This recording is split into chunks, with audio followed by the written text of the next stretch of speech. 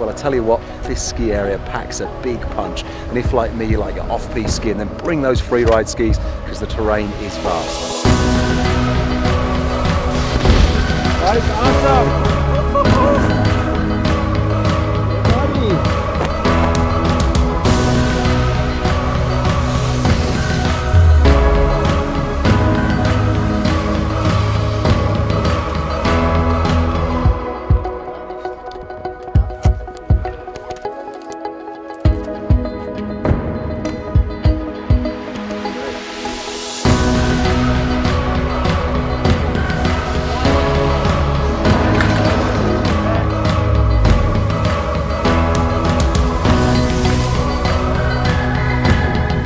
Honestly, I love this place. For me, it's the best skiing area, everything I like.